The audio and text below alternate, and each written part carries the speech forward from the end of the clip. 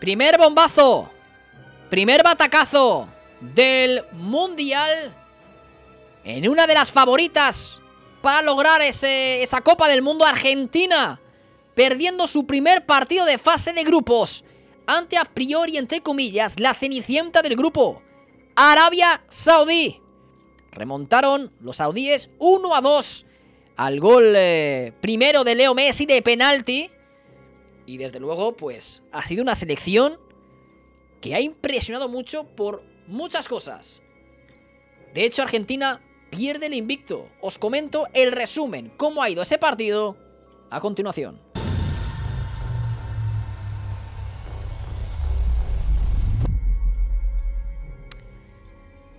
Hey, ¿qué pasa? ¿Cómo estáis? Welcome otra vez aquí en JKC Live. Bienvenidos al resumen del primer partido del día de hoy, de los cuatro que hay disponibles del Mundial.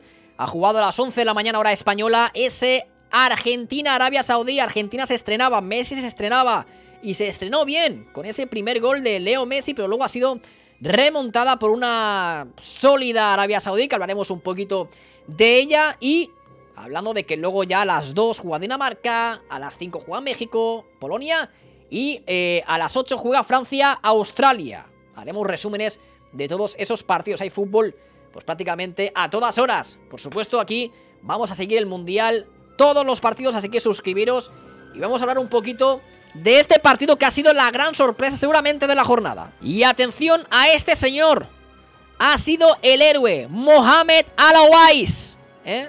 Ha estado imperial bajo palos, con una energía, con una personalidad espectacular. Y es que sinceramente, eh, Arabia Saudí eh, se preparó, bueno, pues hace un mes y poco, ¿no? Jugando cinco amistosos, estuvo durísimo a nivel físico, con un planteamiento de fuera de juego que le resultó muy efectivo, ya que por ello incluso le anularon hasta tres goles a Argentina por fuera de juego. Después de esa remontada, con esos dos goles, se limitaron a defender con contundencia y muy seguros. A nivel defensivo, arriba, ¿no? Qué bueno es. Este portero, Florentino, cuidado, ¿eh? Os comento la alineación titular del encuentro. Argentina empezaba con esa alineación de Emiliano Martínez en portería.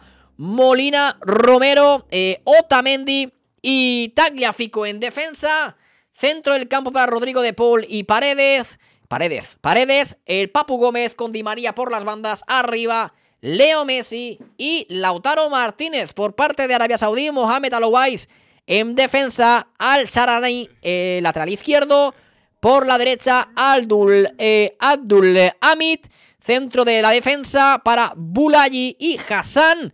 En el centro del campo como pivote, Abdulelah y en el, eh, los otros mediocentros, Al-Faraj y Mohamed Kano por las bandas Aldawa, uy, Aldawas, Aldawsari y Albir, joder, macho, Albrikan y arriba Al-Sheri, ¿vale? Sale Al-Sheri, el cual pues ha marcado un auténtico golazo. De hecho, os comento un poquito cómo han sido esos eh, golazos. Insisto, marcó Argentina en el 10 de partido, en el 10 de partido con un penalti bueno, un poco riguroso, ¿no? Un poco riguroso, en un agarrón dentro del área a paredes. Hay gente que decía que es insuficiente, hay gente que decía que ya era suficiente, pero desde luego ha sido un poco riguroso. Personalmente yo no lo hubiese pitado, porque bueno, ese tipo de agarrones, si pitamos todos esos, habrían cinco penaltis por partido. Y luego ya remontada, pues bueno, gol de Salé al Seri en el 48 y un auténtico golazo de Salem en el 53 con un auténtico zapatazo eh, cruzado donde Dibu llegó a tocar, pero no fue suficiente. De hecho, las estadísticas del partido lo dicen todo. Solo dos disparos a puerta de Arabia Saudí y fueron dos goles. La verdad que no estuvo afortunado Emiliano Martínez y 15 disparos por parte de Argentina y 6 a puerta. La posesión ha sido para Argentina, evidentemente, con el 70%. Yo, desde luego, no me esperaba para nada, para nada, ¿eh? Para nada eh, esta derrota de Argentina. De hecho, Incluso cuando le pitaron el penalti a Paredes, decía, pero es que a Argentina no le hace falta este penalti, si va a ganar igualmente, ¿no? Pues fijaos cómo son las cosas.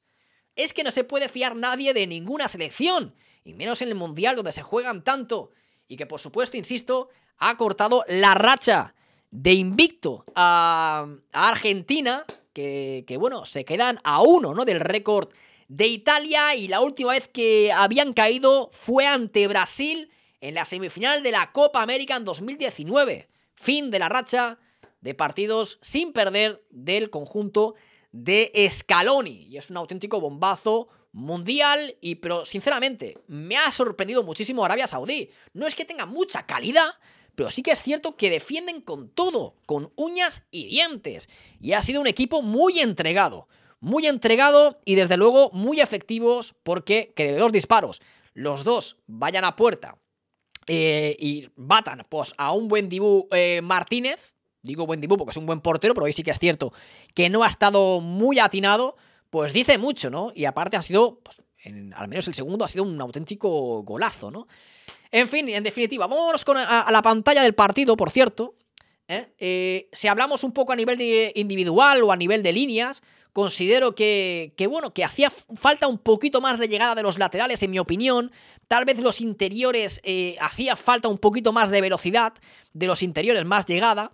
Y sobre todo, le han llegado pocos balones a Lautaro Martínez, que era el delantero referente en, este, en, este, en esta alineación de Argentina. Messi recibía muy atrás. Es verdad que Messi le gusta mucho organizar, pero recibía en campo, ¿no? En campo, en campo propio. Di María hoy no ha estado tampoco muy fino, ¿no? No ha estado muy fino. Es verdad que alguna ha intentado, alguna jugada individual, pero es que insisto, han estado muy bien en bloque bajo los de Arabia Saudí y al final, pues, es lo, es lo que hay, ¿no? Vamos a dar las notas a los jugadores si os parece bien.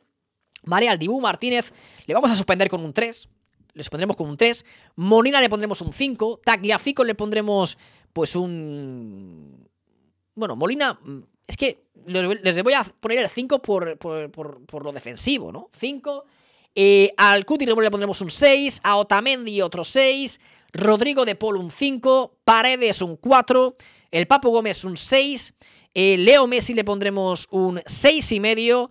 A Lautaro le pondremos un 5,5. Y a Ángel Di María le pondremos, pues, eh, tal vez un 7. Bueno, junto a Messi. Venga, otro 7 a Leo Messi. Con Di María, que ha sido lo más activo que ha tenido ahí Argentina para intentar cositas, ¿no? Em, luego, ya, pues, por parte de, de Arabia Saudí, para mí ha sido el MVP el portero. Eh, pondremos a, a Mohamed con esa nota de, un 8 y medio, un 8 y medio tranquilamente, tranquilamente para ser el MVP. Luego Abdul Hamid, lateral derecho, me ha gustado bastante, me ha gustado bastante, le pondremos un 7, es que a nivel defensivo han estado muy bien Arabia Saudí. Luego eh, al Sarani, que ha recibido un fuerte golpe, por cierto, del portero, también ha hecho un gran partido, le pondremos un 7 y medio. En defensa, Ali Al Bulayi, y a Hassan, eh, a ambos le pondremos un 7,5, muy bien en defensa. Abdulelah le pondremos un 6. Eh, al Brican le pondremos eh, incluso un 7,5, porque sobre todo cuando ha remontado Arabia Saudí ya no era banda, no era extremo, no era jugador ofensivo, sino que ya era un lateral central más, ¿no? Ha aportado mucho también en defensa. Un 7,5. Al, al, perdón, al Dawsari, que ha, que ha marcado, si mal no voy, el golazo. Eh, sí, ¿no? No, no, el, que ha marcado el golazo, sí, ha sido, ha sido Salem, perdón. Efectivamente, al Dawasari.